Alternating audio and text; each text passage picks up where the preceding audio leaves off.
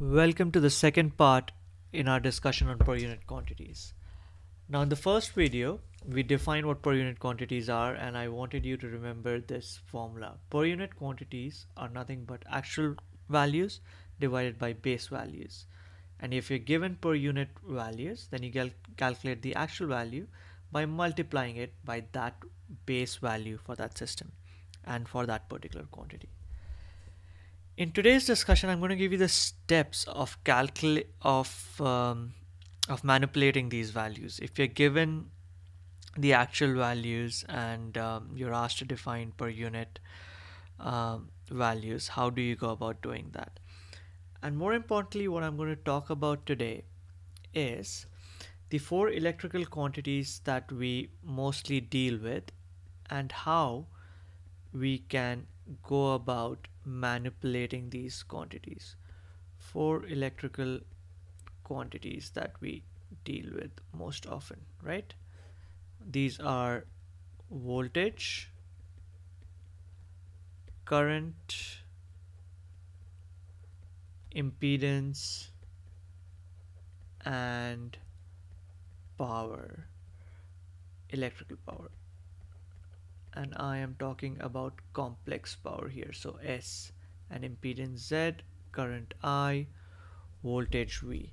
We are familiar with the units for these which we spoke about last time as well and voltamps for complex power not watts. Watts is for real power P right? Now the beauty about these four is that once you know any two of them the other two can be calculated. How do we do that? The very famous Ohm's law, which we're all familiar with, gives us a relationship between voltage, current, and impedance, right? So once we know any two of them, you can calculate the other. So V equal to IZ, which implies Z equals to voltage over current, or current is voltage over impedance. What we also know is that complex power is V times I, which implies S can be written as we can substitute for I from here, which makes it V square by Z. My 2 and Z look almost the same, so let me just change that not to cause any confusions. So V times 2 uh, sorry, v square over z, right? So basically what I'm saying is as long as you know any two of these, you can get the other two. Why is this important now you ask me? Good question. This is important because what this tells me is as long as I can define two quantities, I can calculate the other two. Which means is for my power systems, if I have the base, if I define the base for any two, of these quantities, I can calculate the base for the other and I can calculate all the rest of the values in per unit or actual. I am going to solve an example so you understand this better. We leave this here. What I will also write here is for your benefit per unit is actual over base. So this will help us understand understand what we're doing. So this is my example here. Just imagine we have a circuit with a resistor. The voltage across these two nodes is, let's say, I'm going to say 500 volts. The current is, let's say, 5 amps. Those are the only two values you know. I've asked you to find the resistance uh, and I have asked you to find the complex power. The first method of solving this, the traditional method, is simply V equal to IR, we know that, which implies R is going to be V over I, which is 500 over 5, which gives me 100 ohms.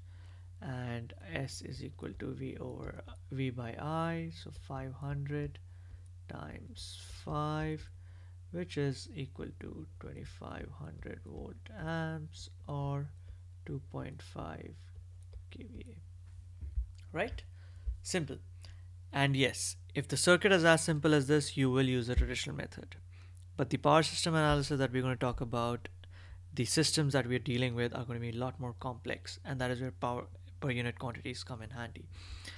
But since we're just starting out and we want to understand how to use per unit, I have chosen this very simple circuit. So humor me here and let's solve this using our per unit method, right? Step one in per unit method is we define base values for known values, right? We define the base for the known, which implies we know here what voltage and current, right? So I'm going to define a base for them. I'm just going to choose arbitrarily a base 1000 volts and for my current base I'm going to say let's say 10 amps. My step 2 I am going to calculate base for unknown quantities. Which implies what do I not know? My resistance and my power. So my resistance base is nothing but my voltage base or my current base which is equal to 100 ohms. And my power base is nothing but my voltage base. Let me write it here so. And then that makes it 10,000 volt amp or 10 kVA right? So far so clear simple enough. Third thing what I do is I calculate my per unit for the known quantities. So my step 3 is this. What do I know? Voltage and current. I've been given actual I have defined a base so my voltage per unit will be the actual by the base which is equal to 0.5 per unit. Remember this formula right here? That's what we are using. And my current in per unit is going to be 5 amps defined right here with my base 10 amps is going to give me 0.5 per unit. So in this case my voltage and my current are both going to be 0.5 per unit. What is my next step?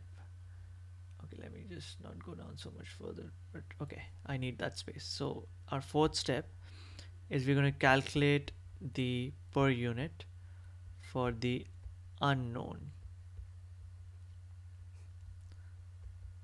so R per unit is going to be V per unit over I per unit which is 0.5 over 0.5 which is equal to 1 per unit.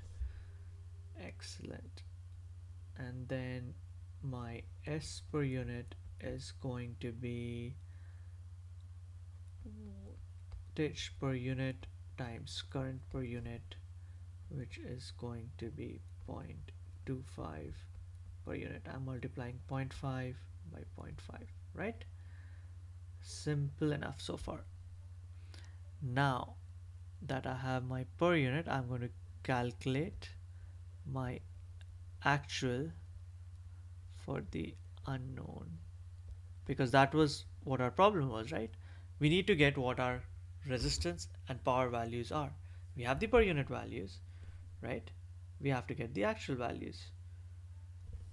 So my R is nothing but R per unit times my R base which is nothing but 1 times 100 which makes it 100 ohms. And my S is nothing but S per unit times S base which is 0.25 times 10 kVA which makes it 2.5 kVA. Answer number one for resistance and answer number two for for power. Relate this to these two answers right here. Exactly same which is what we expected, right? And these are your steps to calculate your per unit, use your per unit values, manipulate them to get your actual values. Understood? Brilliant. And now we're going to, I'm going to leave you with a sample problem as I always do. That'll help you better understand once you solve this yourself. So let's say I have another circuit here. Okay, let me not make this a resistance. Let me make this an impedance. So let's say I make this an impedance Z.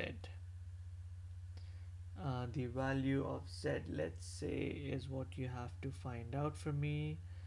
Um, current flowing, I am not going to give you this value either. And the voltage across is 5 kV. The power is, let's say, 10 MVA. I want you to do three things for me. First, solve for I and Z using traditional technique. Traditional technique I'm going to give you so this is my voltage. I'm going to give you voltage um, I'm going to give you two bases. I'm going to give you first base as 100 kV and S base 1 as 100 MVA and the other thing I want you to do is this. Take a base of 10 kV and take a base of 10 MVA and again even in this two cases solve for I and Z. Okay?